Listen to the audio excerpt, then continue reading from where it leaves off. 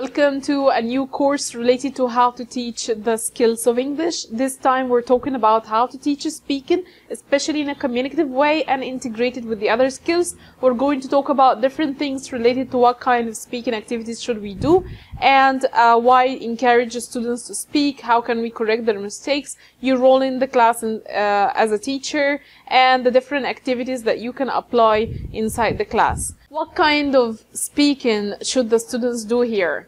There are two different types, which is the controlled practice and the free practice as we talked about in the lesson planning course before.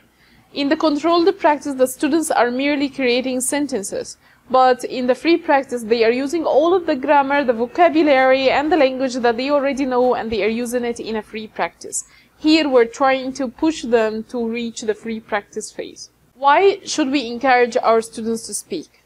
Well, first, speaking would actually motivate them to learn more, and also it is going to help them get more engaged and uh, capable of communicating with other people outside the class. We're not just teaching them vocab and grammar and reading and writing, we're also uh, teaching them speaking because this is what they are going to use uh, with foreigners, this is what they are going to use at their jobs and, and traveling and so on. So that's why speaking is very important, but also we should not neglect the other skills.